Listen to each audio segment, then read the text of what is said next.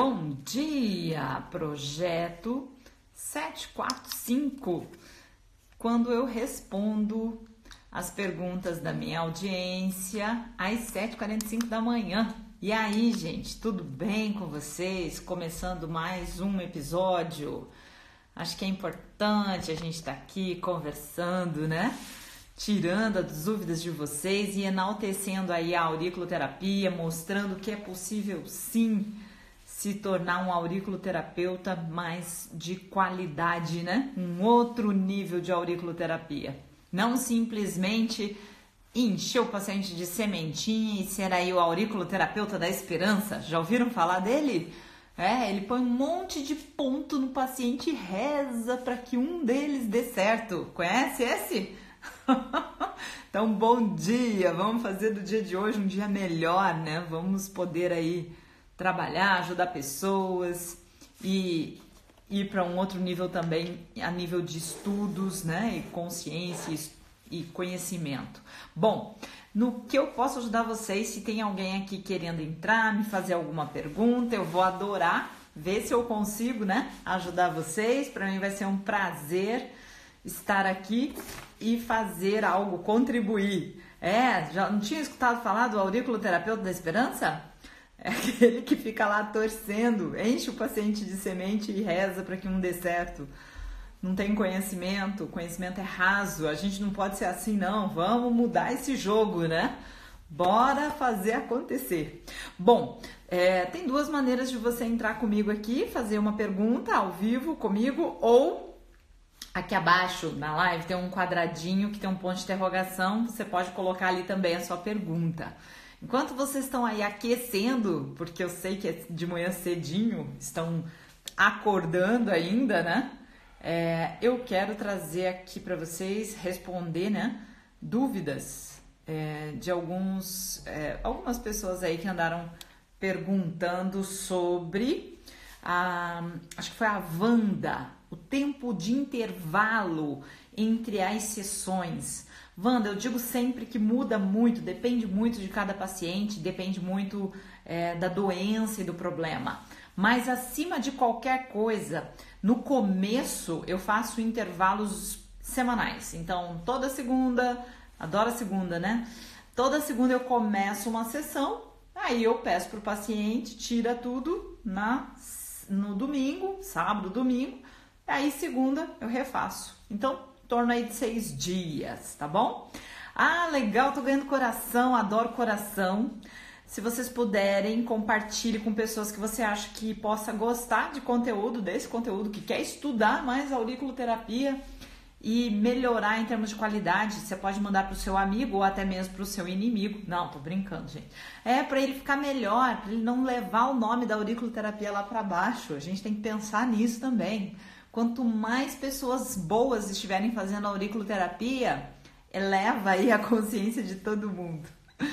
Gente, que horrível, né? Comecei inspirada essa manhã. Não, tô brincando, mas é, com fundo de verdade. Bom, vamos lá.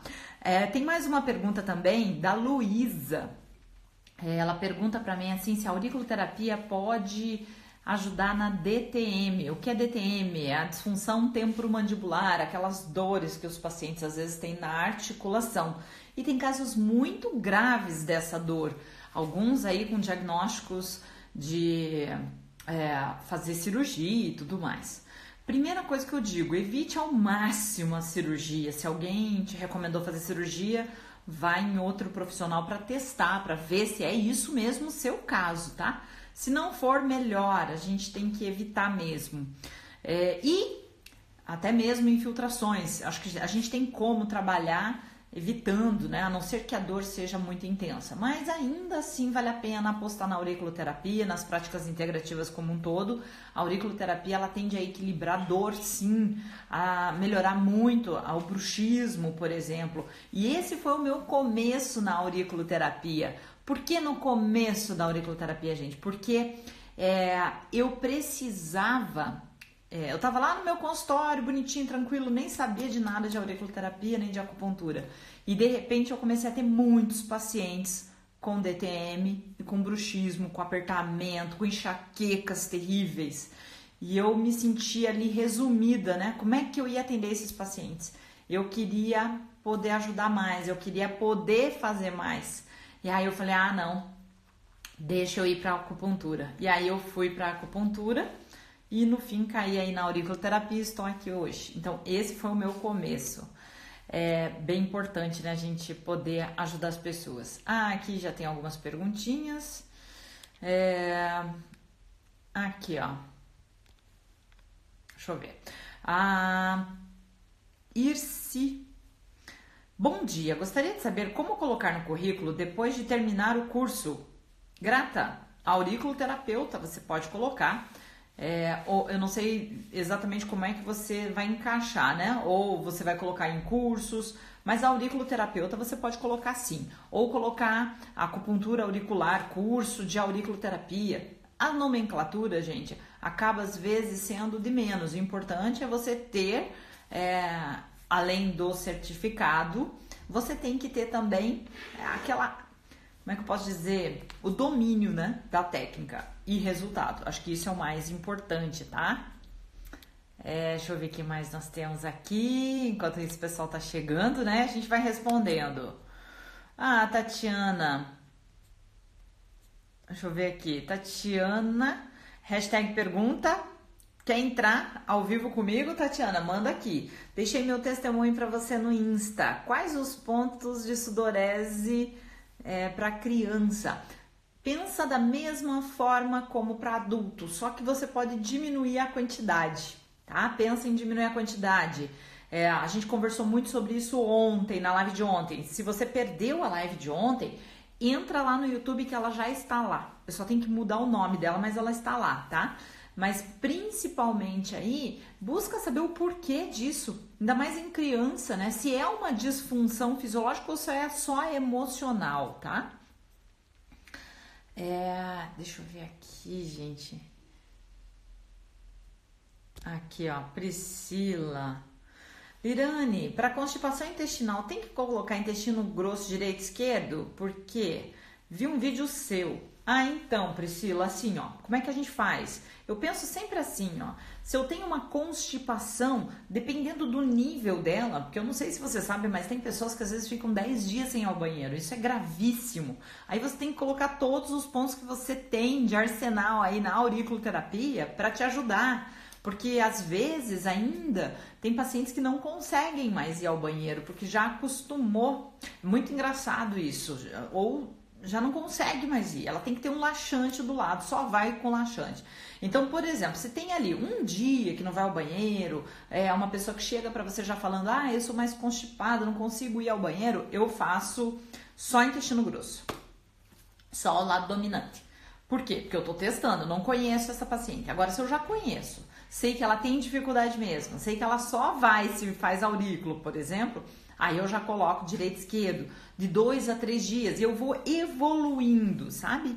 É mais por isso. Você tem que testar, porque vai que você coloca aí os dois e o paciente acaba, né, tendo um desarranjo. Tem que tomar cuidado.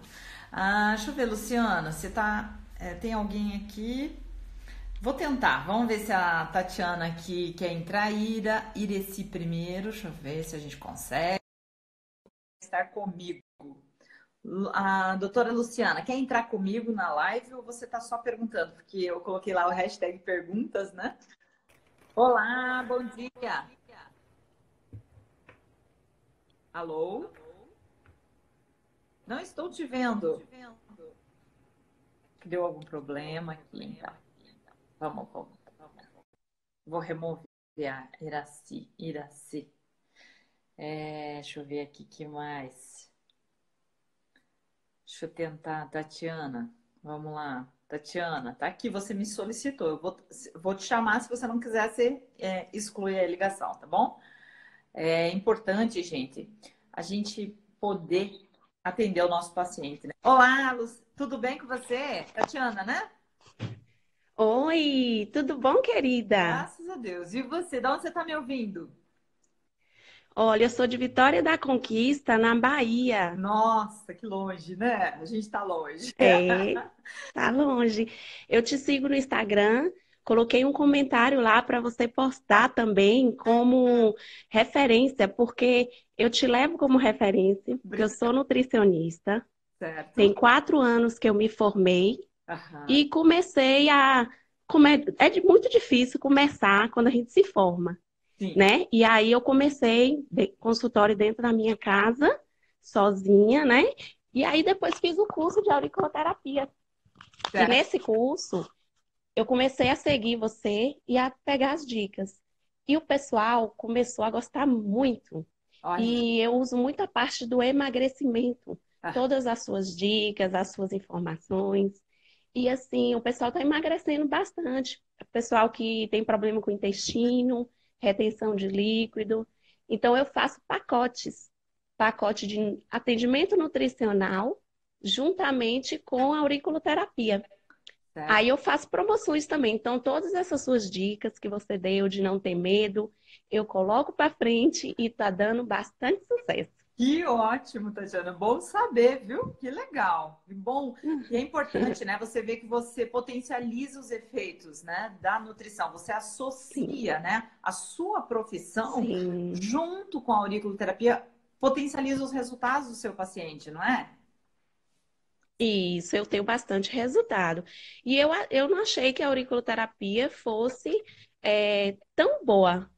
Tem, eu tenho depoimentos de pacientes que eu utilizo no Instagram, utilizo na, nas minhas redes sociais, justamente que eles falam que não sabia que a aurícula fazia tanto efeito para insônia, ansiedade, estresse, porque tudo isso atrapalha na questão do emagrecimento. E aí eu vou aliando tudo isso, né? e vou colocando na minha prática do dia a dia. É muito difícil hoje eles não fecharem um pacote comigo. Olha. Que é o pacote do atendimento nutricional juntamente com a auriculoterapia. Certo. Aí, e tenho também pacientes. É. E tenho também pacientes que não estão na, na, na, no setor de emagrecimento, mas eu fecho o protocolo para coluna, dor no ombro. Eu tenho um paciente que é dono de salão, que trabalha muito com os braços e aí sente muitas dores.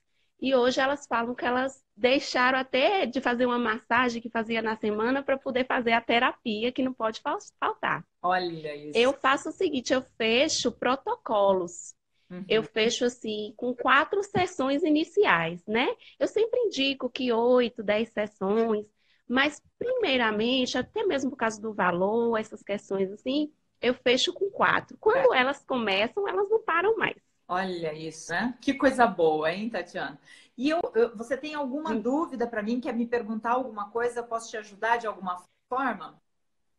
Pois é, eu perguntei sobre a sudorese, né? Porque ah. o meu filho, é, na questão dele, é quando ele começa a jogar no celular ou no, no jogo da televisão, alguma coisa, os pés e as mãos ficam frias e, e suando bastante, uhum. né? Então, assim, eu percebo que é a questão mais da ansiedade, né? Uhum. Do jogo. Isso. Aí eu coloco ansiedade, eu coloco o que mais na questão para ele de 10 anos? É, então, veja bem, ó, por isso que eu te perguntei ali, né? Na, eu vi a tua pergunta, é, a questão de uma criança com sudorese excessiva está muito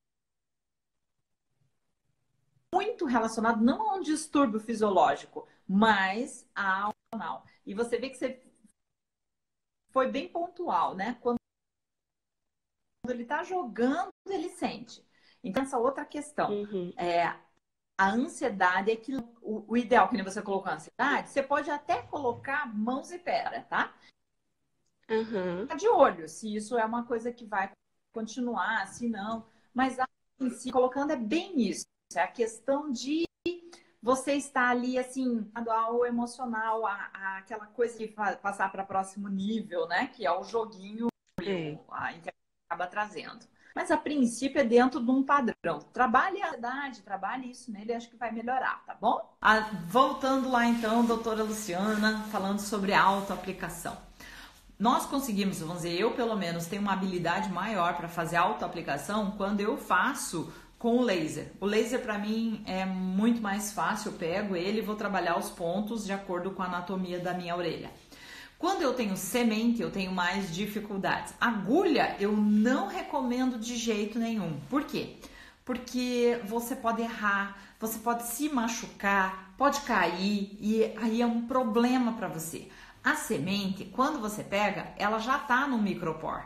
Quando eu estou no micropor, mesmo que ela caia, é muito difícil ela entrar no conduto. Agora, uma agulha não é, não é, não é tão difícil assim. Então, eu não corro riscos, tá, gente? Eu não corro riscos com agulha.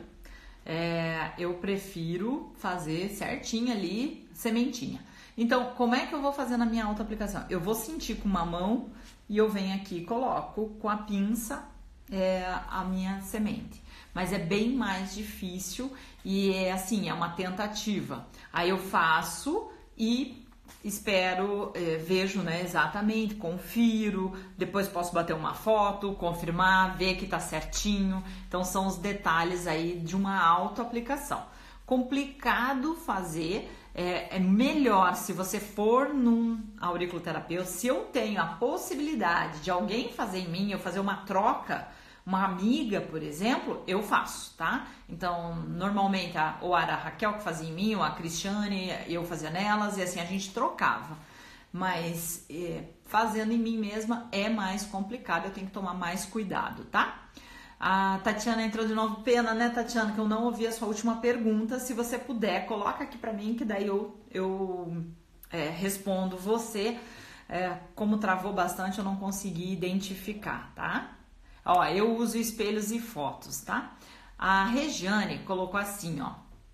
Lirane tem auriculoterapeuta que ela só coloca o ponto e fala que a pessoa tem. Que abordagem é? Ah, Regi, Regiane, não entendi direito a sua pergunta. Tem auriculoterapeuta que ela só coloca o ponto e fala o que a pessoa tem. Que abordagem é?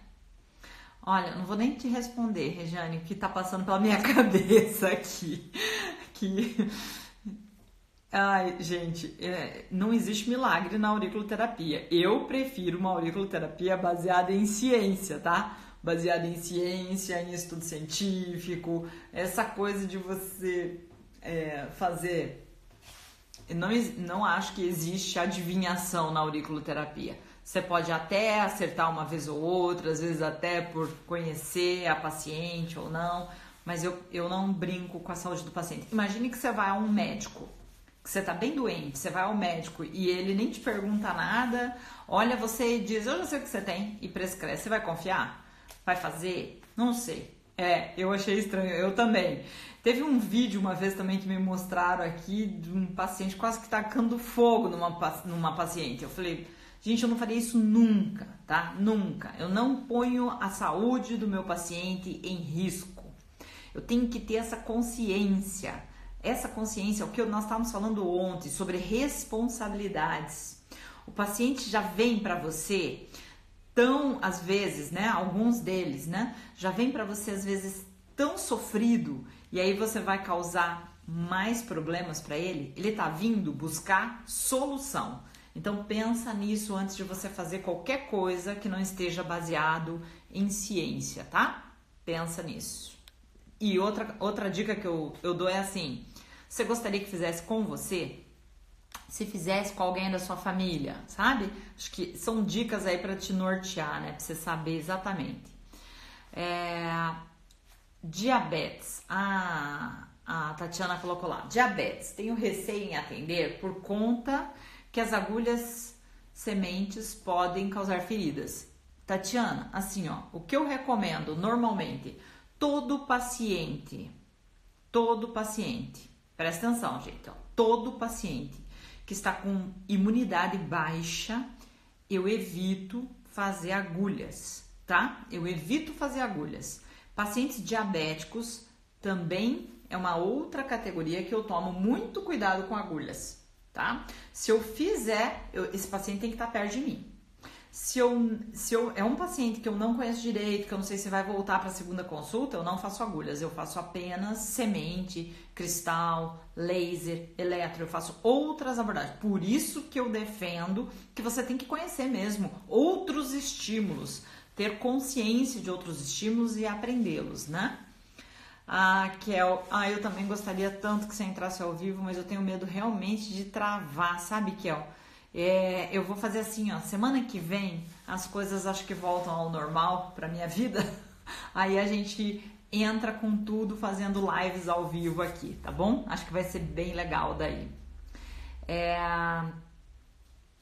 quando o paciente tem determinado problema, o local da orelha não fica alterado? Depende, nem sempre, nem sempre, tá? Nem sempre. Por quê? Quer ver uma coisa? Um exemplo, vou dar um exemplo bem banal, mas assim importante para vocês tirarem como exemplo para outras situações, tá? É, meu filho joga, por exemplo, videogame, tá? Videogame não, videogame mostra a minha idade, né? É PlayStation, que agora mudou. É, ele joga o PlayStation com um fone de ouvido grande, tá? Que é o headset, né? Que tem um negocinho que fala e põe aqui. Cada vez que ele tira isso, se você olhar a orelha dele, você vai dizer que ele tá doente. Você vai dizer que ele tá com problemas na coluna, você vai dizer que ele tá com vários outros problemas. Por quê? Porque a orelha dele fica extremamente vermelha. E, e aí entra até uma questão que eu comecei a pensar, puxa, tá aí um outro estudo que seria legal, né?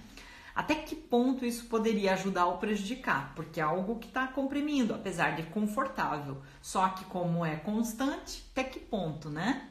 A gente não sabe. A mesma coisa quando você dorme e acorda. Às vezes você dorme, a orelha dobra, não acontece de ficar meio dolorido? Então pode ter essa sensação. Existe uma área da auriculoterapia, mas que está em desenvolvimento ainda, não se tem dados, mas acho que você tem que fazer, que nem o professor Nogier, por exemplo, o professor Paul Nogier. Quando ele estudou os pontos para ele mapear pontos, o que, que ele fazia? Ele deu regiões e ele, ele passou mais de 25 anos fazendo. O paciente chegava, ele olhava a orelha, apertava e o ponto dolorido ele mapeava. Só que ele ficou 25 anos fazendo isso e depois ele tirou uma conclusão que ele fez uma neologia. O que é neologia? É quando eu comparo. Poxa, a maioria dos pontos da cabeça estão para baixo, a maioria dos pontos das pernas estão para cima, os problemas de vísceras estão internos. Opa, é a posição de um feto. Entenderam? Então ele fez uma comparação, ele fez um neologismo, mas ele estudou 25 anos, ele foi ali, o paciente chegava, ele foi mapeando. Aí agora você chegar e dizer assim, ó, ah, porque tem uma pinta, tem uma alteração, eu tenho um problema, você pode até tentar. Eu já brinquei disso, eu aconselho, testem vocês também. É, teve uma paciente, uma, uma amiga, na verdade, eu tava olhando a orelha dela e ela tinha um ponto bem em cima aqui, ó, do ponto do ouvido tá? Muito engraçado, porque ela tinha nas duas orelhas. Aí eu olhei para ela e falei assim: por acaso você tem problemas com labirintite? E eu nem sabia, eu não conhecia. Eu acertei. Ela ficou impressionadíssima. Mas é sempre que isso vai acontecer? Não. O que, que eu ficar de olho? Eu não posso chegar para vocês e dizer, gente, quando tiver uma pinta em determinado lugar, é porque o paciente vai ter problemas ali. Mas eu posso chegar para vocês e dizer assim, ó, fique de olho tá? Fique de olho, observe. Eu já fiz isso várias vezes. Quem é meu aluno, quem teve aula prática comigo, por exemplo, presencial, já viu eu fazendo isso no ambulatório. Pacientes com uma pinta, por exemplo, bem no intestino.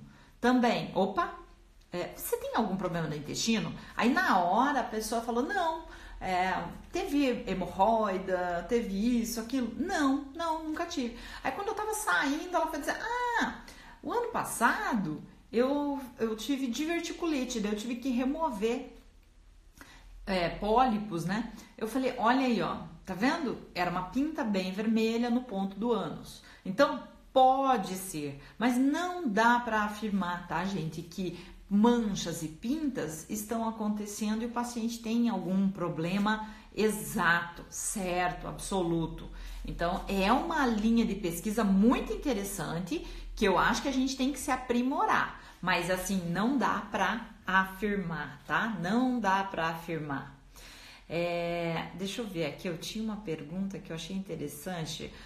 É, prof, ontem o meu esposo foi numa pessoa que fez aurículo chinês. Ele falou para ele que não tem problema ele não estimular. Fiquei pasma.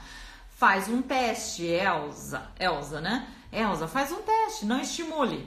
Eu acho que o resultado não vai ser tão bom. Apesar que Pode dar resultado? Pode. Gente, temos uma coisa aí chamada efeito placebo. Já ouviram falar? Dá uma olhada, se vocês têm curiosidade em pesquisa, joga no, na PubMed ou na Cielo ou no Google Acadêmico, placebo. Existem estudos mostrando que os pacientes melhoraram de determinadas doenças tomando placebo, tá? Tomando placebo. É, e aí? O que, que você vai dizer? Tanto que uma pesquisa, muitas vezes, ela é considerada relevante quando o observador, a pessoa que vai fazer a pesquisa, por exemplo, não tem contato com o paciente. Olha que louco isso, né? Por exemplo, é, eu trato o paciente sem saber qual o problema dele, tipo por sorteio, mas eu ponho, vamos dizer, os mesmos pontos no paciente A e no paciente B. É, só que eu não sei quando, um exemplo, quando o aparelho está ligado no A e quando o aparelho está ligado no B. Eu trato todos, tá? E aí, mas tem uma terceira pessoa que sabe. E essa pessoa levanta os dados. Ou é tudo fechado, que é o duplo cego. Todo estudo duplo cego, ele tem um valor muito maior para as áreas acadêmicas, tá? Duplo cego. Por quê? Porque eu não sei quem eu estou tratando e quem está tratando também não sabe o que eu estou fazendo nele. Para quê? Para que não haja a intenção, para que não haja aquele momento de dizer assim: ah, mas foi o cuidado, foi o carinho, foi a empatia. Quando você tem carinho, empatia pelo seu paciente, você ali já está resolvendo o problema dele. Quando você demonstra segurança, ele já está depositando em você uma confiança que muitas vezes vai ajudar muito ele no tratamento, tá? Pacientes oncológicos a gente experimenta muito isso. Isso é falado com o médico mesmo, aquele médico que vamos lá, vamos fazer, vamos, vamos lutar o paciente engaja. Aquele que diz assim: olha, você já não tem mais solução para o seu problema, o paciente esmorece. Então, isso, gente, são dados. Já existem pesquisas falando sobre o cuidado, sobre o relacionamento, tá? Então, importante, tá? Importante. Tem um livro, é, é, é, um livro bem baseado em ciência. Eles fizeram uma pesquisa dentro de uma universidade, eu só não lembro exatamente se foi Oxford ou foi Harvard. E nessa, eles pegaram e fizeram assim, ó. Eu acho Interessantíssima essa pesquisa, gente. Eles pegaram os grupos, três grupos de médico, e fizeram os três grupos e colocaram na mão deles 20 é, prontuários. E pediram para eles diagnosticar e dar a forma de tratamento, tá? Era diagnóstico, diagnóstico. Então eles entregaram os, os prontuários para o primeiro grupo e não falaram nada. No segundo grupo, eles deram detalhes dos pacientes. No terceiro grupo, além deles darem os prontuários, eles entregaram um bombom, um doce para o médico, tá? É, olha só, o primeiro grupo, nada, nenhuma informação. O segundo, o, de, falaram para eles informações sobre o paciente. E o terceiro, eles deram um bombom. Só que não deixaram eles comer o bombom. Por quê? Porque se você come o bombom, também interfere na pesquisa. Porque é o açúcar, né? Estimula. É, então eles não falaram, ó, tá aqui o bombom, mas não coma. Aí o que, que aconteceu? O terceiro grupo que ganhou bombom, pelo fato dele sentir reciprocidade, que é um sentimento de gratidão, esse terceiro grupo diagnosticou 20% mais rápido e mais assertivo do que os outros dois grupos. Gente, pasmem, pasmem. Olha só essa ideia. Pasmem, 20% de acerto no diagnóstico, 20% na rapidez. Sabe o que a gente tira dessa história? Cuidem das pessoas com quem vocês estão é, colocando a sua saúde também nas mãos e ao mesmo tempo fica focado no seu paciente. Trate ele bem, tá? E essa reciprocidade ajuda muito no tratamento, tá? Então, esse estudo para mim assim foi muito importante, foi um diferencial mesmo, né? Ó, outra pergunta. O nome da agulha que você mostrou que parece um piercing chama-se ASP ou ASP ou flecha de fogo. São os três nomes que algumas pessoas falam para ela. É... Aqui, ótima pergunta, Priscila. Lirante, você já ouviu falar em primeiro furo humanizado para bebês? Já ouvi falar sim, até recebi é, um direct agora, só não lembro o nome da pessoa que me mandou só que sabe o que acontece, gente? Como eu recebo muito, às vezes eu perco os directs, eu não consigo, eu respondo, mas eu não consigo ver a resposta. É, então aqui, ó, é, ela falou para mim que tem uma normativa da Anvisa dizendo que só médico, enfermeiro e farmacêutico poderiam fazer. Eu não tenho certeza, eu gostaria de receber essa normativa. Se alguém conhece a respeito, que mande. Na verdade, a gente não sabe, é, assim, eu nunca ouvi falar da Anvisa é, fazer essa notificação ou fazer um termo falando sobre isso, tá? Mas já ouvi falar sim. Deixa eu ver aqui mais. Eu queria ver se eu conseguia responder todas que estão aqui. Aqui, a Andréia. Adriana, Adriana, dores fortes no ombro, já fez até infiltração. A aurícula atua na dor e inflamação? Adriana, você precisa participar da minissérie O Ponto da Virada, que vai começar segunda-feira. Se inscreve, porque vai ter muito conteúdo falando exatamente, respondendo exatamente esse tipo de pergunta, tá? Então, começa segunda-feira o link para você se inscrever ou mais alguém aqui na live que queira escrever, que tenha dúvidas sobre ponto, localização, sobre o que, que é auriculoterapia, quais as alterações, o que, que ela atua, qual a doença ela atua, se inscreva, tá? Se inscreva, vá fazer parte dela, amplie o seu conhecimento se você não quer, depois eu sei, a gente vai fazer a proposta de um curso para quem quiser continuar. Se você não quiser continuar, não tem problema, mas pelo menos você adquiriu é, mais conhecimento sobre a auriculoterapia, tá? O link para você se inscrever eu vou, vou, colocar no Stories e tá lá na bio também, na minha. Entra lá no meu Instagram, você vai ver, tá bem em cima, tá bom? Mas atua sim, atua muito. Tem dois pontos anti-inflamatórios, tem pontos de analgesia, pontos de relaxamento muscular. Não perde a oportunidade de estar tá atuando com a auriculoterapia ou indicando para ela um auriculoterapeuta. Olha aqui, ó, a Tatiana perguntando: paciente com LER, dor no braço, muitas dores. Excelente o uso da auriculoterapia para esse tipo de problema, tá? Não deixe de colocar um ponto anti-inflamatório. É, é, assim, gente. É muito difícil você falar assim, ó, usa esse, esse, esse. Apesar que no livro de protocolos, que agora não tô com ele aqui na minha mão, no livro de protocolos a gente passa um roteiro, tá? Porém, se você falar assim, Lirane, posso seguir isso para todos os pacientes? Não. Por que não? Porque cada paciente é individual, tá bom? Gente, já passei do meu horário aqui. Desculpa mais uma vez estar tá travando a live, mas eu já percebi agora que é quando entra alguém comigo. Semana que vem a gente dá semana que vem não, amanhã a gente se encontra aqui de novo, horário marcado. Se eu não respondi a sua dúvida hoje, não deixe de entrar amanhã para amanhã. Quem sabe dá certo, né? Coloca aqui no quadradinho com ponto de interrogação, às vezes fica mais fácil de eu enxergar do que você escrevendo aqui, nem sempre eu consigo pegar a sua dúvida, tá? Mas eu fico muito feliz de vocês estarem aqui comigo. Agradeço bastante a presença de vocês. A Fabiana colocou como eu adquiro, talvez seja o livro. Eu vou fazer assim, eu vou fazer uma postagem lá no, no Stories também, daí você arrasta para cima e entra na página, tá bom? Gente, olha, beijo, não esquece de curtir, compartilhar, que daí eu sei que isso está fazendo a diferença para vocês. Até eu gostaria muito de saber. Eu vou fazer uma postagem lá no Stories hoje, veja lá, uma dessas você me responde se tá valendo a pena para você, tá bom? Até mais, gente. Tchau.